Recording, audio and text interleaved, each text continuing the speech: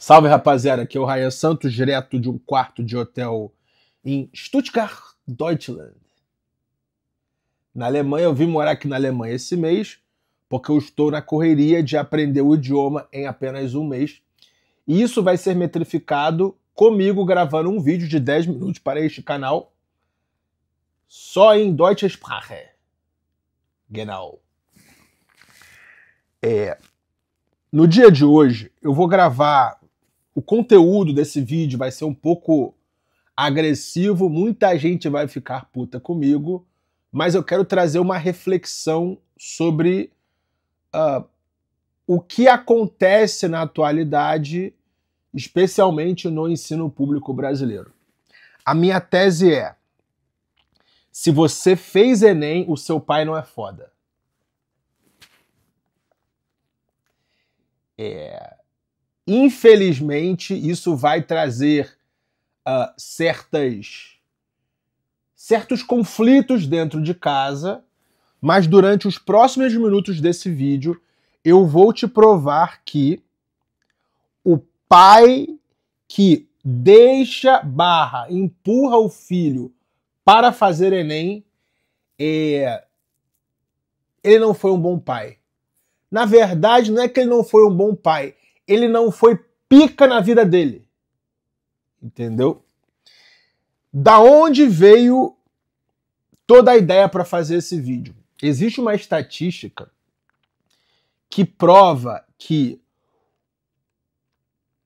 o fator número um que prevê sucesso barra fracasso na vida de um indivíduo é a presença de um pai presente dentro de casa. Tipo, se você foi criado por mãe solteira, tipo, a sua chance de ser bem sucedido, de ser rico, de prosperar na vida é tipo 10 vezes menos. Entendeu? Eu quero levar essa discussão para uma segunda derivada.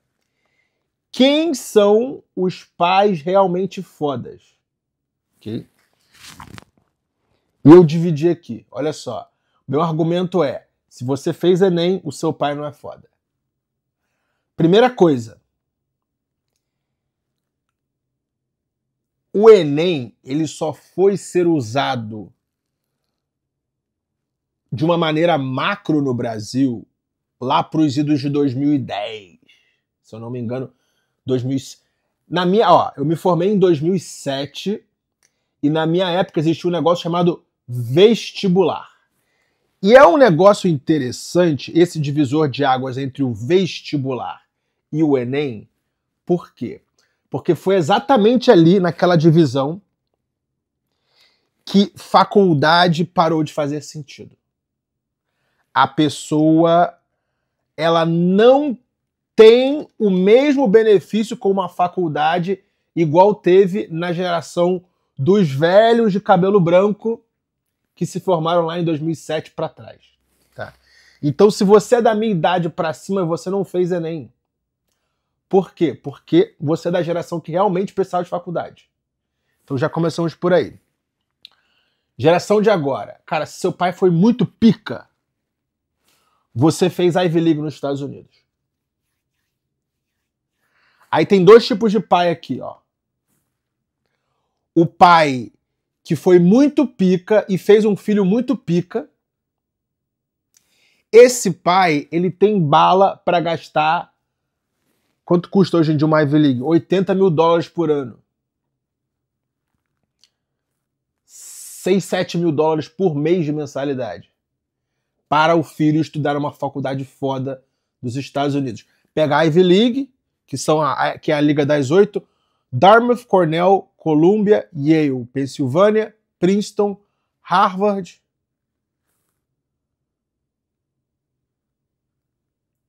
e Brown. E aí, nesse meio, eu coloco MIT, que é em Boston, Stanford, na Califórnia, Caltech, na Califórnia, e as duas britânicas, Oxford e Cambridge. Oxford e Cambridge é muito inacessível para brasileiro por causa dos A-levels. Então, o que eu quero dizer se seu pai é tier 1, ou ele foi muito fora na vida pessoal dele, que ele tem bala para bancar a tua educação, E além de ter sido muito foda na vida pessoal dele, ele criou você muito foda. Ou ele não tinha grana e criou um filho muito, muito, muito foda. Exemplo, o pai do Ryan, o pai da Tabata Amaral, que tinha os problemas dele lá, mas ele fez a Tabata Amaral chegar à Ivy League com 16, 17 anos. Pai da Bel Pass. São pais que não são multimilionários, bilionários e os caramba, para bancar no dedo uma Ivy League, mas eles prepararam os seus filhos para serem melhor, melhores que eles.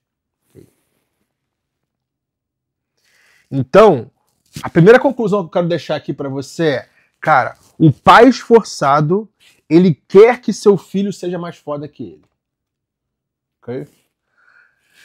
É, tier 2 é o pai foda, o pai é foda, só que o filho não é tão foda. E aí esse filho, ele não passou num vestibular da Ivy League, no application da Ivy League. E ele vai para uma faculdade mais meia bomba. Só que por que, que o pai dessa pessoa é foda? Porque ele sabe que o mercado de trabalho é algo global, não local ok?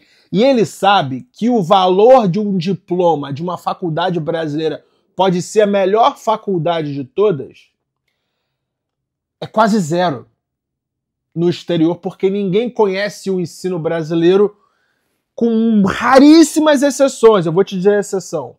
A Federal de Campina Grande, a Federal da Paraíba e um pouquinho o ITA. Mas Federal de Campina Grande e Federal da Paraíba, eles produzem programadores para Facebook, Google e os caralho. Exceção. É. Só que eu quero dizer que com e, esse, esse segundo tipo de pai é que ele foi bem sucedido na vida dele para entender que ele precisava segurar um dinheiro até o filho dele fazer 17, 18 anos para ele mandar o filho para fora porque o mercado de trabalho é algo global e não local. Ok? Ah, Ryan, eu quero empreender. Que mercado de trabalho? Ok, então não faz faculdade. Nós estamos falando de faculdades. Estamos falando de faculdade aqui. Tier 4, Tier 3, Tier 3. O pai que fez o filho entrar no IME, no ITA ou em medicina? Tier 3, seu pai fez você entrar no IME, ITA ou em medicina. Que eu fa... Por que, que eu coloquei as faculdades meia bomba do exterior na frente de IMA, ITA e vestibular de medicina? Um, por causa da questão uh, do mercado de trabalho ser global e o prestígio de universidades brasileiras ser lá embaixo. E isso afeta negativamente o acesso do estudante no mercado de trabalho global para ganhar bem. É, e a dependência do serviço público brasileiro, greves e tudo de ruim que acontece no ambiente universitário brasileiro ideologias e etc. Ok? Então é o pai respeitável e o filho foda. IME, ITA, medicina. Pai respeitável, filho foda. Se o pai é foda, já desde quando a criança tá na barriga, ele fala: esse meu filho vai estar no exterior. Ou ele não vai ele vai ser empresário, caralho, mas se ele fizer faculdade, ele vai estar no exterior. Tier 4, Tier 4. Ele faz uma faculdade tipo FGV e tipo INSPER, que é o pai foda, o pai mais ou menos de foda, e o filho meia bomba também. Só que ele sabe que se ele colocar aquele filho dentro da, do maquinário da educação pública brasileira, ele vai perder o filho. ele vai perder todo o progresso que ele fez durante 18 anos moldando aquele moleque. Então, ao invés de colocar ele para fazer o Enem e tentar passar numa faculdade pública, não. Meu filho, você vai estudar na FGV e no INSPER. Porque ali você não está exposto às mazelas, às ideologias e, e às coisas que podem infectar seu filho dentro de um ambiente de uma universidade pública brasileira. Ok? Então esse é o Tier 4. O pai mais ou menos e o filho mais ou menos. Só que com visão. O pai, o pai tem visão. Entendeu? Porque se, o, se, esse, se esse pai fosse fodão, estaria numa faculdade no exterior. Se o filho fosse fodão, ele estaria na Ivy League. Se esse filho fosse fodinha com o pai mais ou menos, estaria no IME no ITA, ou em medicina. Entendeu a relação? E por último, a gente tem os pais meia bomba, que é o tier 5, que são as pessoas que falam assim, ó, meu filho, estude muito para fazer um vestibular para fazer o Enem e passe numa boa faculdade. Boa faculdade pública no Brasil é meu ovo. Você está contando uma mentira para você mesmo. Que tipo de professor vai dar aula para o seu filho numa faculdade brasileira? Que tipo de pessoa vai estar tá lado a lado com seu filho naquela faculdade brasileira?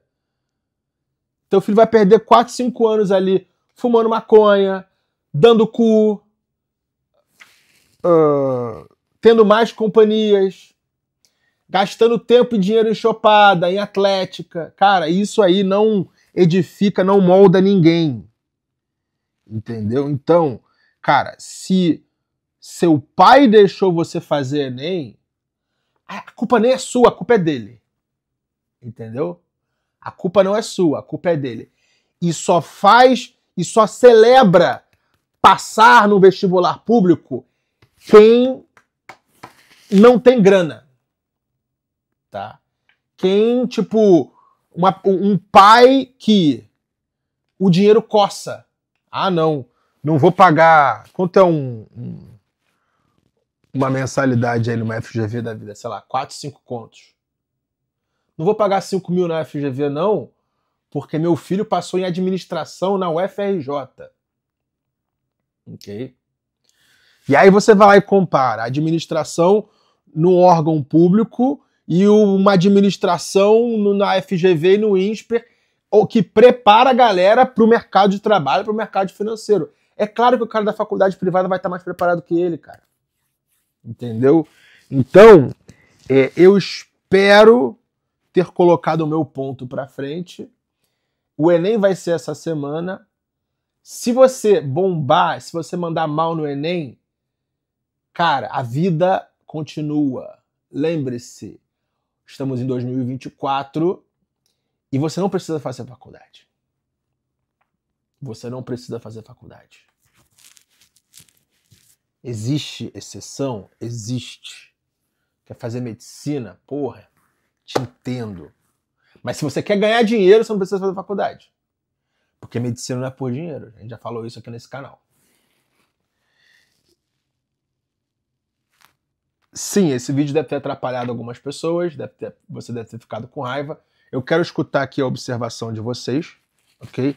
Lembrando que eu não estou culpando você, eu estou culpando o seu pai. E, e por que que eu estou trazendo esse argumento para jogo, para você que é jovem ainda, já se preparar de antemão para você ser um bom pai. Para você não colocar o seu filho em furada. Para que quando seu filho tiver 18 anos, você não mendigue uh, uma mensalidade de faculdade para ele ir para uma faculdade pública e estar exposto a todas essas merdas do ensino público brasileiro. Rapaziada, o ensino público brasileiro é uma merda. Foda-se que você passou na, na federal do teu estado. É uma merda. Tem greve, tem professor fraco. Ok? E mais uma vez, você não precisa de faculdade hoje em dia. Faculdade é para quem fez vestibular. Quem precisou fazer Enem já fez hora extra em faculdade. Esse é meu argumento. Os comentários estão aqui para você discordar de mim. Tamo junto e é só o começo.